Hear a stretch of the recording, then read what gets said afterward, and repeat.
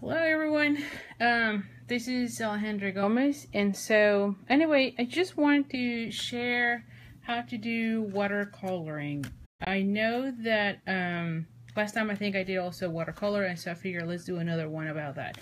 This time I am um, doing using this um, stamp set and it is named A Little Wild and I'm using this little bear and I'm just loving it to be honest because you get the front part and the back side and you can fold it and then you get a nice tag.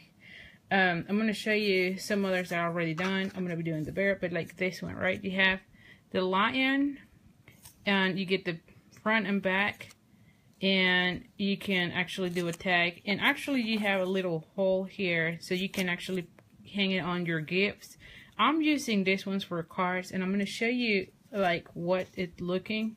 Say um say like this one right? So you have your card and when you open it you see the back. So this is why I'm doing I am cutting the hole for the tags. So anyway um let me just show you another one. This little elephant I feel like it's beautiful. Um, but, um, so I cut an extra of this little bear and I'm gonna, and that's the one that I'm gonna be doing. So anyhow, so I'm, I don't want to waste too much time, but here's the bear and then you die cut it with the framelits and this one is named Little Loves Framelits. And so once you do that, you have the little bear like this one. Um, okay. So, all right. So, and I'm using, um, in this case, I'm going to be using Soft Suede.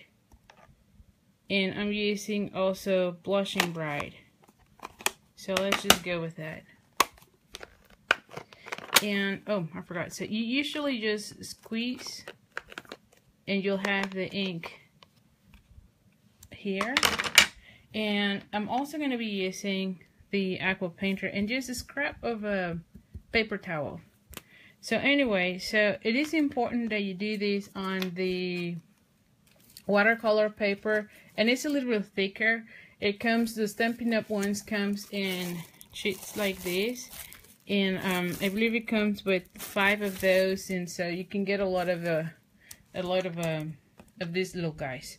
So anyway, so now I'm going to be taking a little bit of the ink here and you squish a little bit so you hit a little bit of water and um, let's start first with this one. So you can tell how you go. And I'm trying to go from where I want to go darker to where I want it to go lighter okay? So let's just go that way. And of course you have heard me in the past from the YouTube videos. It's really hard for me to talk and color, so anyway, let's give it a try. And the beauty of the watercolor paper, if it is too dark, you can always just put or do a little bit more of water and it will remove also the color. So obviously you always want to go from going clearer or yeah clearer to darker rather than go from darker and so like so like see how like in this case I am removing a little bit because I feel like now it's too dark okay and so now I'm to be doing its face from the back and you can tell here. Alright, so another one here. There you go. And um,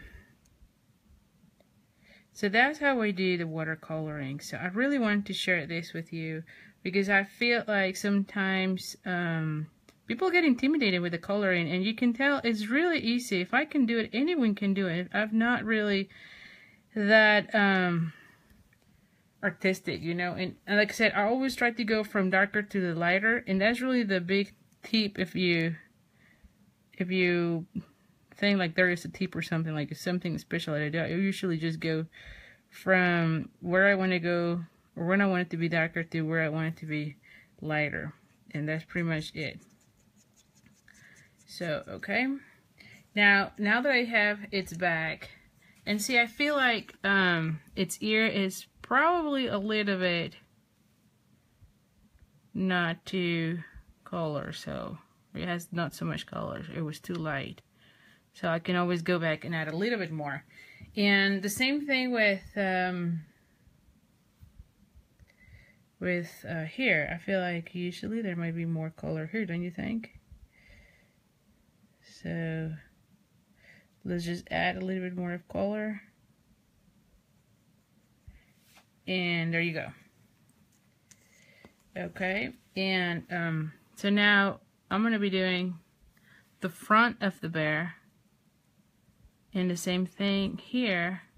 Now I'm going to be very careful to not eh, to not um, color the bee because I want the bee to be colored differently. So you have to be careful in going around the bee. Okay, so there you go. Here it is. And the same as before, I'm going to go from what I think there's going to be more color to where I feel there might be less. There we go.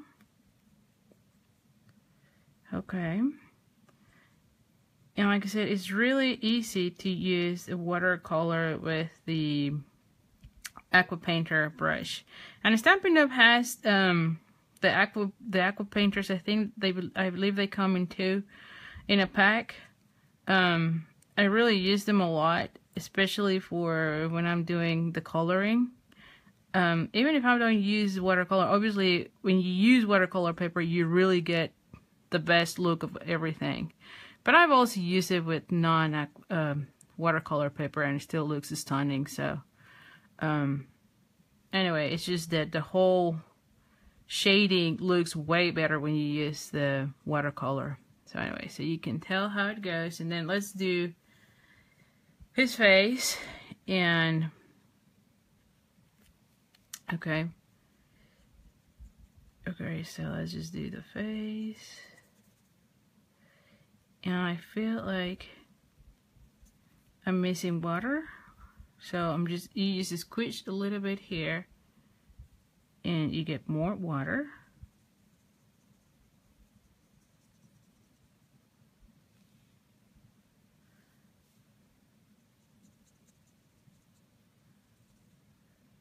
Alright. And then if it is too much water, then of course you can use your towel, the paper towel, to take away some of that water. Like right now, I feel like there is too much water. Um, so you can always just tap a little bit and there you go. That way you can go back and add more. Like I said, it's very simple. You can put or you can add or take away color using the watercolor paper. Um, alright. So now, let's just let it dry for a second. Um, in the meantime, well, I would like to do the face, or finish with the face. I should have started with the face now that I think about this. I probably need more.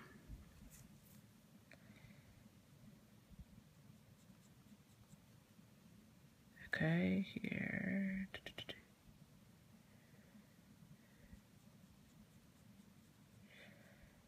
And I hope you really like um, how this bear is turning out. Um, okay. So here we go. And like I said, um, I feel like these little bear is so cute, you know? It can go for baby cars. I mean, it could go for anything. So let us try a little bit. Um, because if you see my sample, and by the way, here's a sample. You see the sample, I'm also doing cheeks on this one. But anyway, like I said, this is not my original idea. I, I cased this one from another fellow demonstrator that is in United Kingdom. Her name is Liz Julie, I believe. I hope I'm saying her name right. But like I said, I love that you put this little guy and it has the back as well. So I don't know. I just feel like it's really cute. So I feel like if I post how to do it, everyone's going to be asking, well, how do you really watercolor? And I don't want anyone to feel intimidated because it's really very easy. Um, so anyway, I feel like, all right, so it's, it's dry and you can see I'm just cleaning my, my brush and I'm going to be using, what is this, Blushing Bride. And let's just do the cheeks. And um, I'll do cheeks here. And you can tell it's really simple. You don't really have to do much about it. And then remove the color and then do that. You know, like, that's it. So, I don't know if you can tell. I probably will put a little bit more because it feels like the brown is hitting it. And I really want everyone to see their cheeks there. Here it is. There it is. Here we go. Oh, look, that looks better. See that? Very simple. Very easy, okay? So that's pretty much it with the with this one. Um, the next thing that you would probably have to do is you're going to fold it and the big thing here is make sure that you are lining up those little guys, uh, like both pieces. And um, I want to say that I did end up cutting the this part.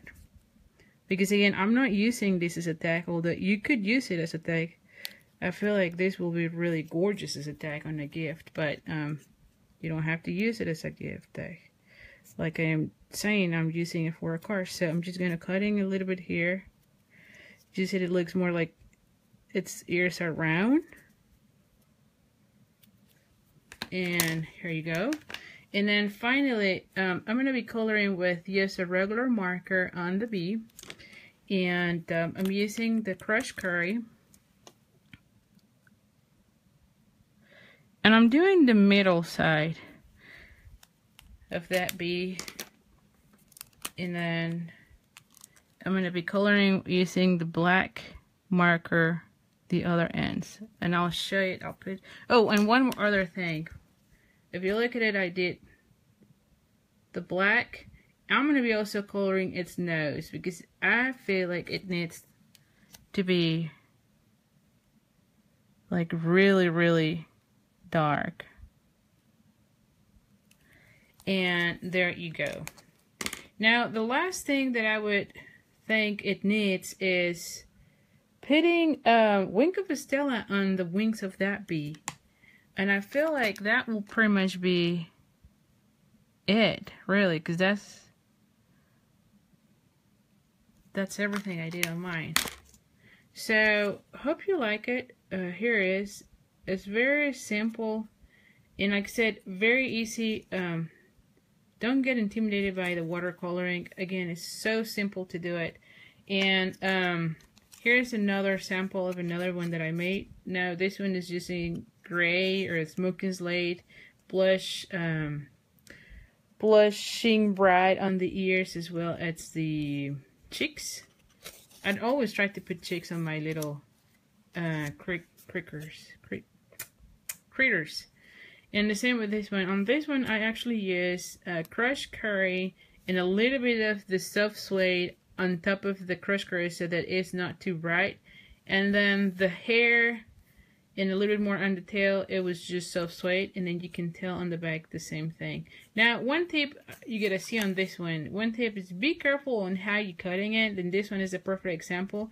You can tell that on this one it kind of moved because there's not a white area on its back you see how there's more white on this end on that in this one so just do be careful when you're doing it. I mean, there's nothing major. When I put it in the car, I don't think anyone will notice, but I know it's bugging me because I know about it. Um, but I'm sure the recipient will know even know about it. And let me show you again the card. This is the card that I did, and again, it's not my idea. I cased it from another fellow demonstrator in United Kingdom. Uh, her name is um, Liz Julie Jewel, I think it's her name. I, I'm pretty sure I'm saying wrong her last name, but anyway, uh, she came up with really sweet cards about this, and I felt like I needed to to do my version of it. And I mean, I'm just in love with it. And of course, I love bears, so I needed to to do the bear, and I needed to show how to do the bear because I'm pretty sure I'm going to be doing another one of these.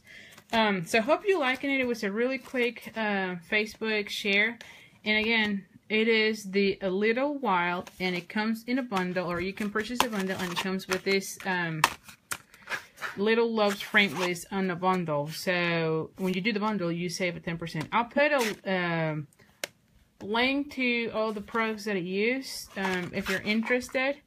And so anyway, so hope you have liking it, and um, do post your your samples if you if you give it a try to the watercoloring okay? So thank you so much and we'll see you soon. Bye